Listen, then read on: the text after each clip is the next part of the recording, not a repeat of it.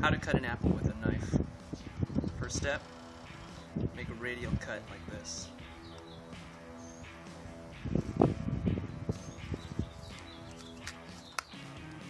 sure you hear that pop so you know you're going all the way through. Next, we're just going to do small wedges all the way around.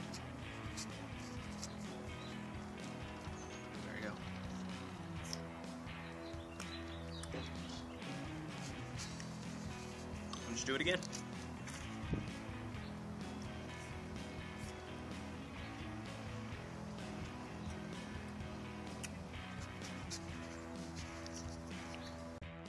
Pictured here is a typical cut you would see in a movie.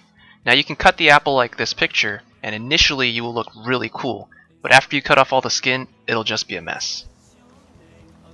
And you keep doing this all the way until you're 50%. So I have one here. I've already eaten about half of it. From here, it's slightly different, but it's the same principle. We're still going to do a small wedge, but the cutting is a little different.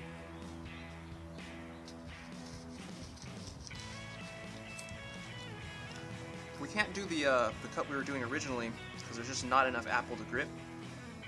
So we're cutting it like this now to get a slice. You'll notice the difference because this wedge comes off perpendicular to the blade.